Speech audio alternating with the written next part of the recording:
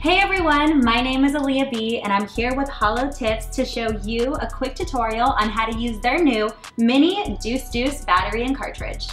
Let's begin by removing the battery from its case by pressing the sides of the top of the casing and tilting it back like so. After that, open up the compartment at the top of the case and take out the cartridge adapters. Side note, your micro USB charger is also located in that same compartment. Now, grab your Hollowtips cartridge. Remove the collectible magnetic bottom cap and red plug. Screw in the cartridge adapter. Simply slide it into the Deuce Deuce shaft, let it connect magnetically, and all that's left for you to do is inhale. Thank you so much for watching. Be sure to follow us on Instagram at Hollowtips California and check out our website at hollowtips.com. Bye.